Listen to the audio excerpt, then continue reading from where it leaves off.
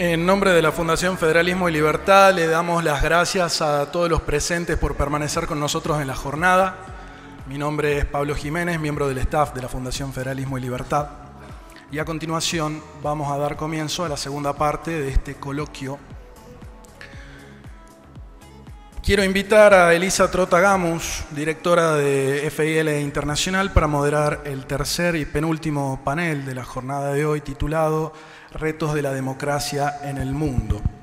Este panel estará a cargo de Denis Bhatia, embajador extraordinario y plenipotenciario de la República de la India ante la República Argentina, y a Fares Yassir, embajador del Reino de Marruecos ante la República Argentina. Un aplauso para ellos.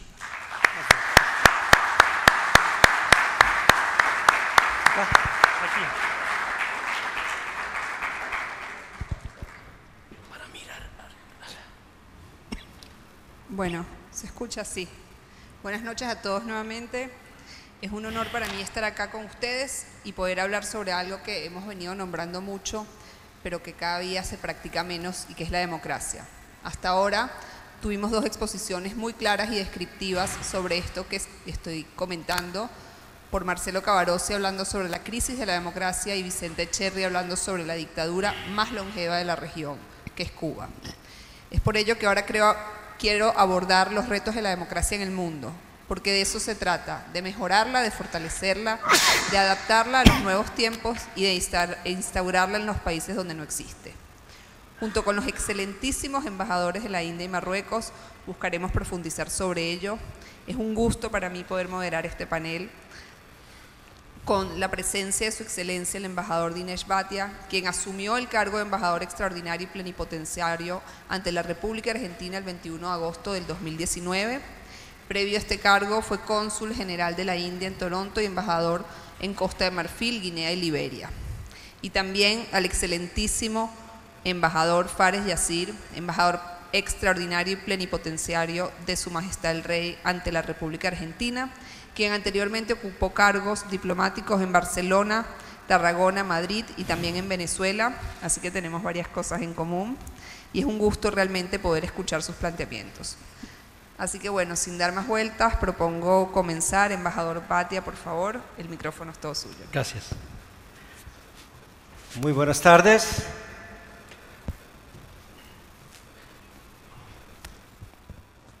Tengo una presentación muy bien. Antes de que empiece yo, quiero saber, ¿hay algunas personas en esta augusta audiencia que han estado en la India? ¿Hay algunos? Nadie. Bueno, entonces tengo un desafío muy grande de hablar de la India. Sí, hay uno, ¿sí? ¿Alguien más? ¿Allá? No. Nada, una persona en esta audiencia que ha estado en la India, entonces es un desafío más grande para mí introducir India y hablar de la democracia de la India, pero voy a intentar.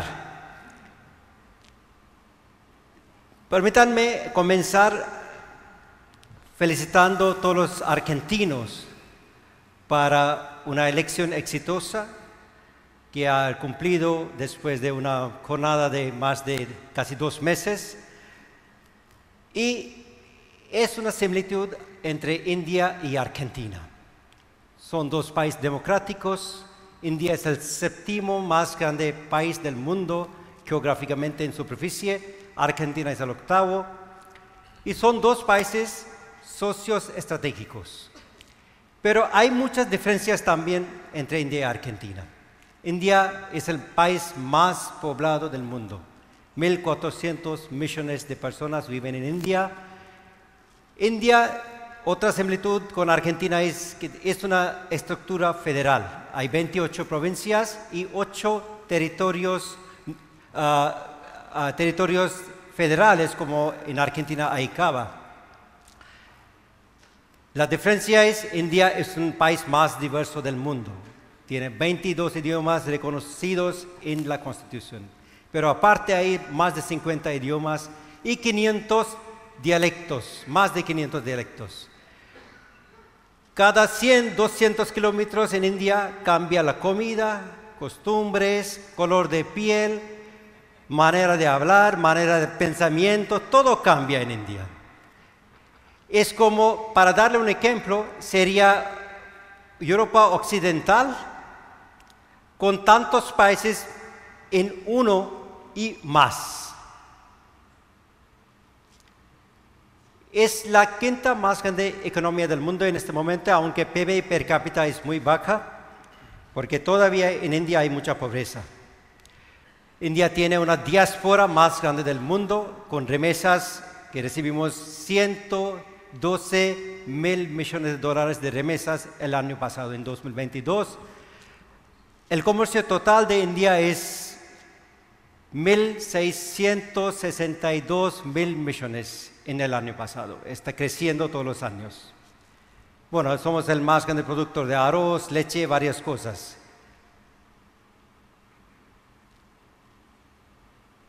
¿Qué hay común entre estos todos? ¿Hay algo común? ¿Se ve? Todos son indios o tienen raíces indios. Desde Kamala Harris, la vicepresidenta de Estados Unidos, hasta el presidente del Banco Mundial y también otros presidentes y primer ministros de varios países y también la canciller de Panamá, varios líderes del mundo. Y no he puesto las fotos de los jefes de multinacionales, desde Google hasta Adobe a Microsoft, que son todos indios.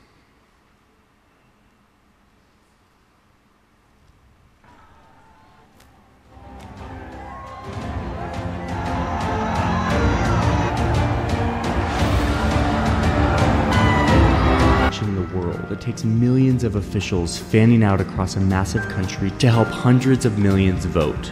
Every part of this the symbols, the elephants, the boats, the machines shows how hard it is to make sure that everyone in a country this large can participate. Helicopters, trains, they even use camels.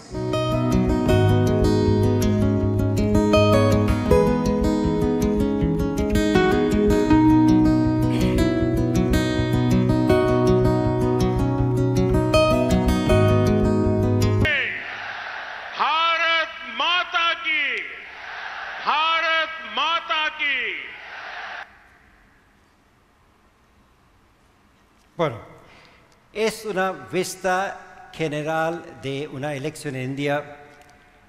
La última elección federal en India fue en 2019. Y había 911 millones de votantes registrados en India.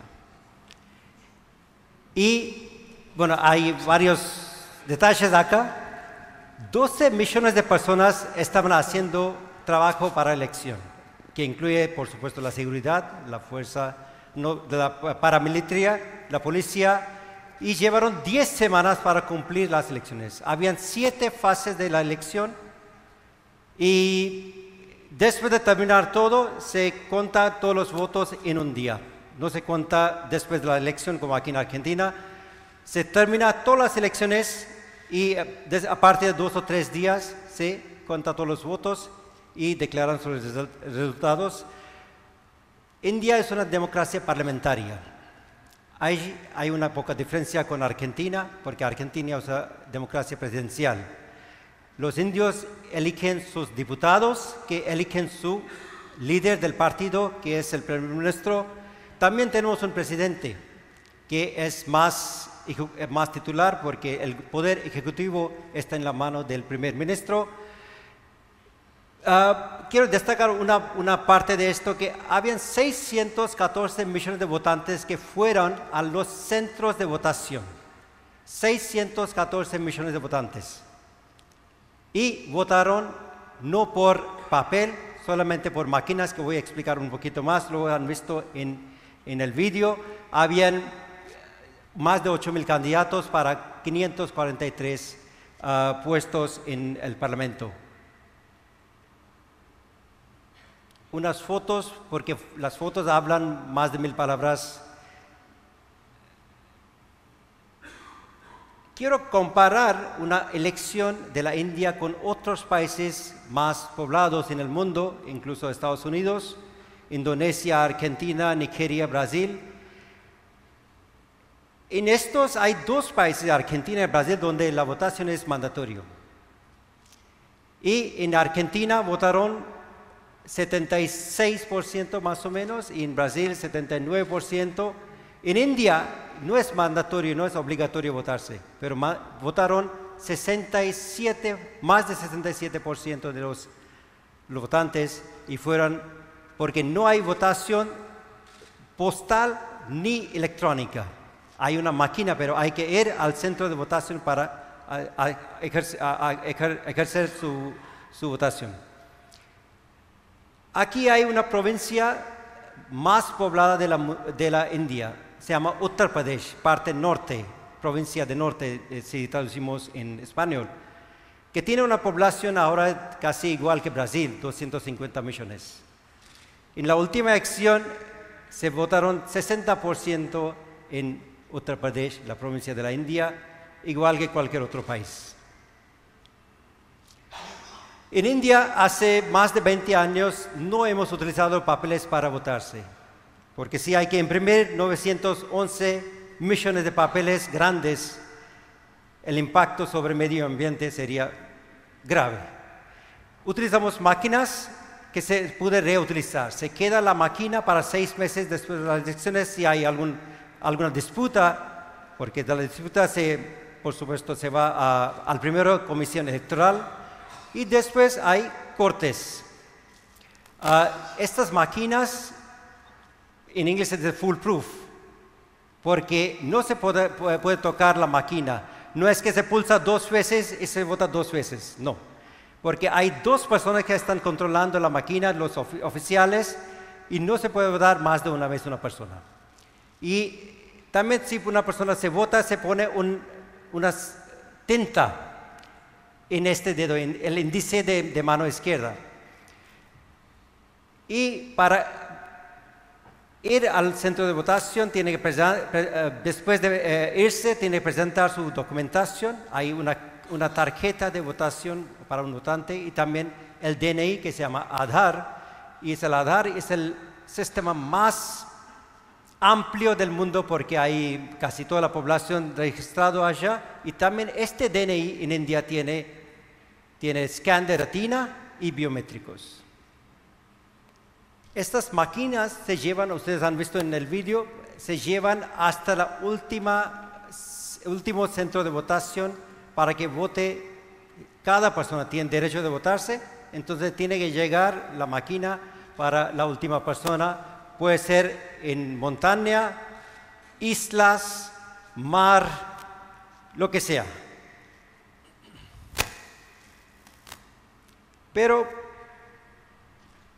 voy a explicar más por qué India decidió elegir el sistema de democracia, porque está en nuestro DNA, digamos. El concepto de rey hace siete mil años fue que, hay que trabajar para el pueblo. Todavía en India, en la política de India, cuando se habla en los pueblos, se saluda, no se dice namaste, porque hay una persona que me dijo namaste, en un pueblo de la India se dice Ram Ram. Ram es un Dios. Él fue encarnación de un Dios importante para nosotros hace siete mil años. Y después vino otra encarnación hace cinco mil años. Y durante todas estas épocas, el concepto de rey fue no como un gobernador, no, como una persona que gobierne todo, tiene todo el derecho, todo el poder. Para él, para el rey, fue la um, uh, welfare, ¿cómo se dice welfare? Bienestar del Estado, del pueblo. Y después seguimos con este concepto. En budismo había concepto de, de sanghas, de los colectivos, cuando la gente tenían que, eh, se juntaron y tomaron decisiones. No había el concepto de rey, en esta época, pero el concepto de la... Ah, de, bienestar del pueblo, por supuesto, fue el más importante. Y venimos, seguimos con la historia de la India en siglo IV antes de Cristo. Había un primer ministro de un rey, un emperador, que escribió el primer libro sobre arte de gobernación, diplomacia, economía.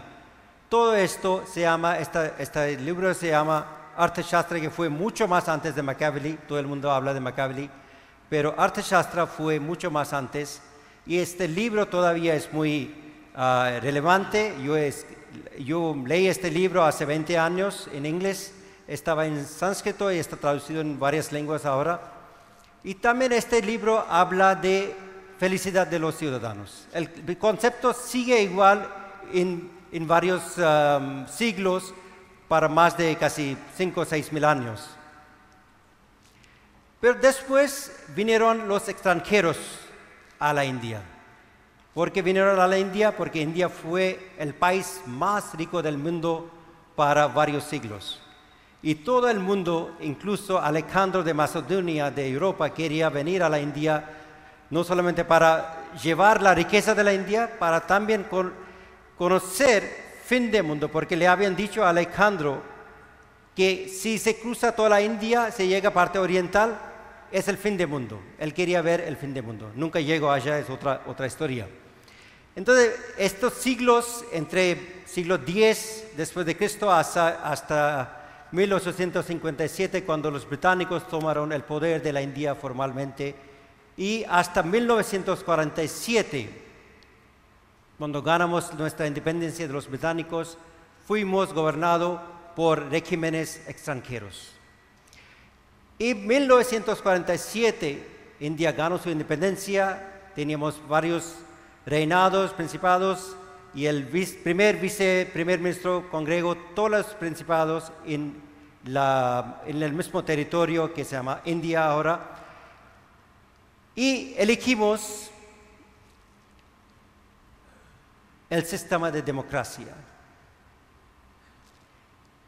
Porque los británicos habían dicho en 1945 que finalmente nos van a dar la independencia. En 1946, el año siguiente, empezamos con una asamblea constituyente que empezó a preparar la constitución de la India independiente. Tenía 389 miembros, incluso 15 mujeres. En aquel momento la participación de mujeres no fue posible, no tienen derecho de votarse ni en Estados Unidos. Pero en India, desde el comienzo, desde 15 de agosto de 1947, las mujeres tenían derecho para votarse universal. Ah,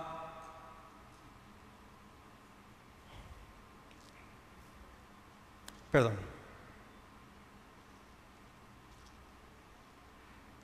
La Constitución tiene un preámbulo por supuesto, el primer artículo dice India es decir Bharat, porque hay, hace poco hay mucha controversia que India va a cambiar su nombre. Pero en la Constitución de la India eh, ya están reconocidos los dos nombres, India y Bharat, porque Bharat es el nombre antiguo hace 8.000 años. Y el preámbulo de la Constitución habla del pueblo, porque el pueblo le da esta Constitución. No es que una asamblea ha, elegido esta constitución para el pueblo. El pueblo le da esta constitución y hay todos los derechos confirmados en, en el preámbulo. Por supuesto, la constitución amplía mucho más después. Hablamos de justicia, libertad, igualdad y fraternidad. El sistema democrático de la India independiente tiene bueno, tres pilares importantes legislatura, justicia y, ejecutivo. El Parlamento tiene dos cámaras, Congreso y, Senado, Upper House y Lower House, Cámara Alta y Cámara Baja. Y tenemos elecciones no solamente para el Parlamento, también para los parlamentos de las provincias, para ciudades, para los pueblos chicos y hace casi 15 años, un tercio de estos puestos en todas las elecciones locales están reservados para las mujeres.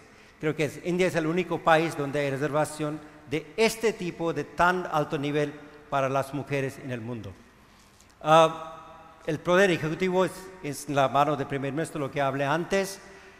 Ah, las, la, gente elige su parlamento, también parlamento en las provincias se eligen para cinco años, cada cinco años hay elecciones. Hemos tenido 17 elecciones, en 2024 tendremos otra elección federal, pero elección, eh, Comisión Electoral de la India, que es un, un, una, un órgano independiente y, y se menciona en la Constitución de India. Entonces tiene todo el poder para conducir, para manejar, para gestionar la elección de la India. Ah,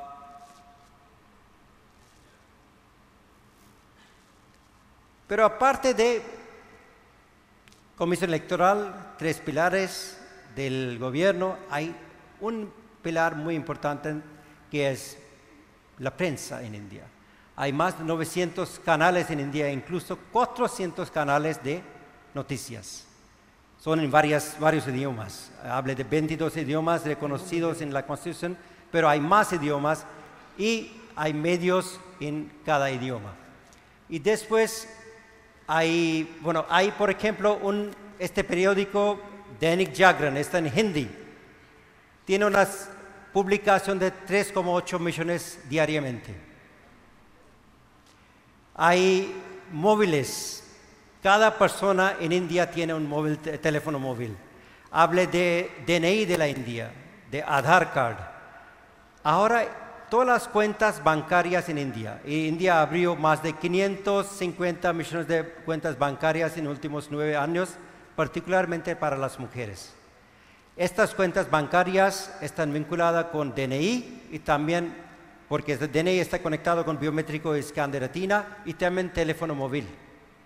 Antes de que pongo mi tarjeta en cajero y saco mi plata, tengo un SMS, un mensaje en mi teléfono que alguien ha sacado este, este monto de su cuenta. El sistema es muy integrado, bancaria y también gubernamental.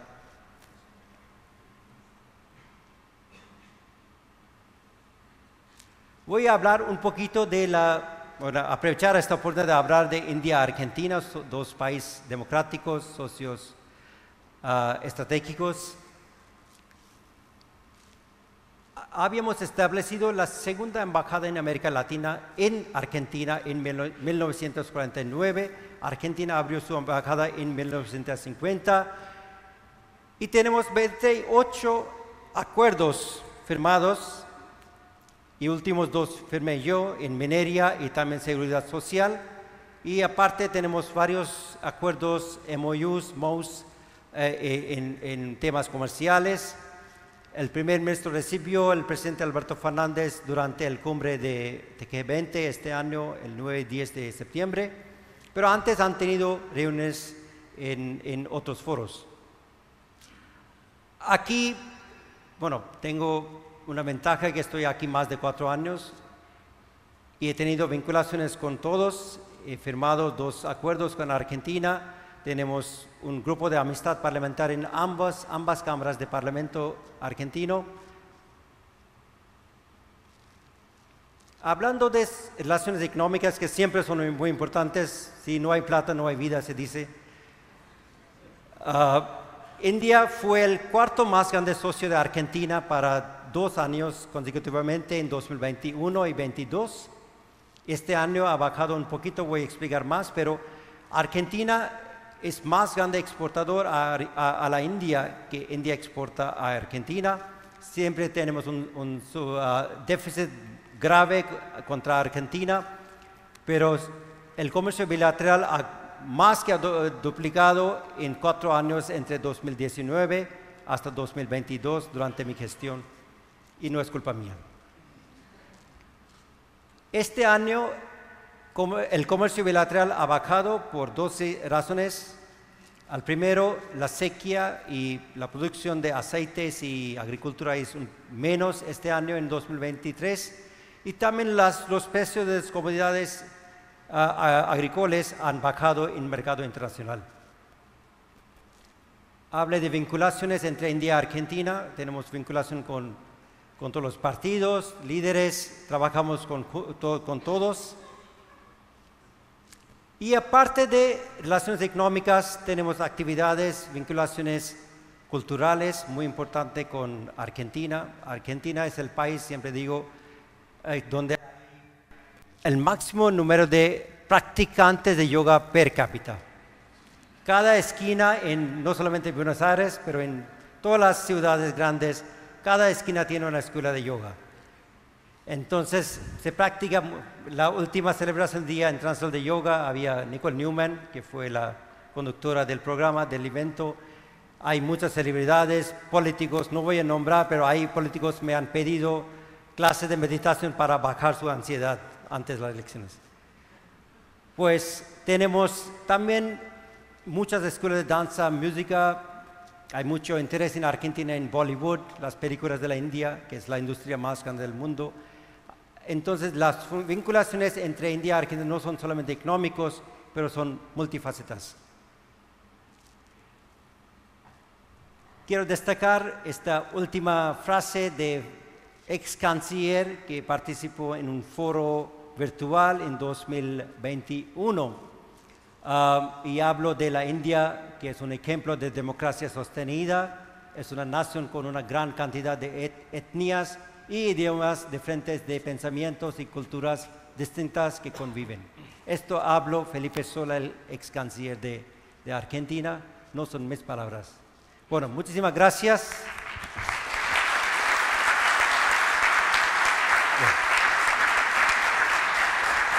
¿Me acá?